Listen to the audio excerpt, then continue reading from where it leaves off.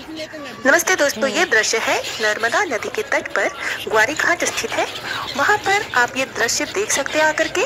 पक्षियों को दाना डालो तो वो इतना प्यार से इसे चुगने आते हैं। बहुत ही प्यारा दृश्य आप लोग इसे ज़रूर से एंजॉय करिए। यहाँ पर आकर के पसंद आया तो प्लीज़ लाइक एंड सब्सक्राइब करते बाय सब्सक्राइब ज़रूर से कीजिए।